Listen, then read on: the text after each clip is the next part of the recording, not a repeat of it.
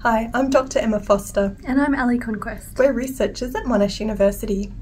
Around 150,000 Australians live with epilepsy. Two thirds can have their seizures controlled with anti seizure medication, but research suggests that half of people do not take their medication as prescribed. We'll be conducting focus groups with people living with epilepsy and interviews with healthcare providers to better understand and to support improvement in medication management. We'll put our knowledge into patient advocacy group resources from the Epilepsy Foundation and Epilepsy Action Australia. Thank, Thank you, Brain Foundation, for your support.